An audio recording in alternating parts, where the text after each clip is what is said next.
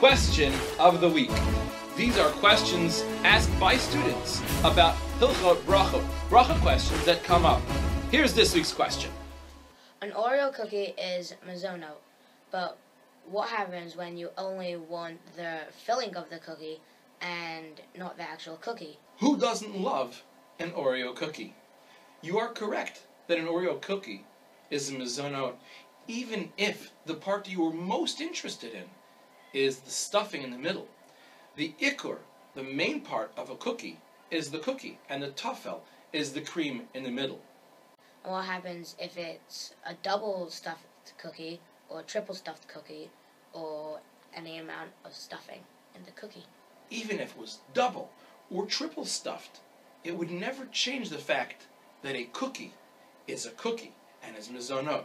For this cookie! Um, nom, nom, nom, nom. Oh, nom, nom, nom, nom, nom, nom.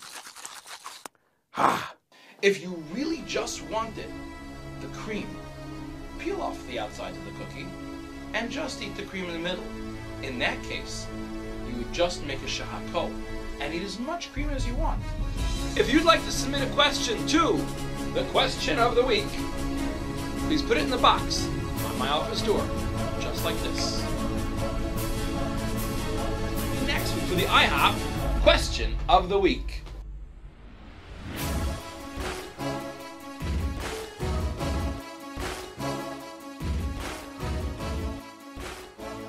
Bye bye.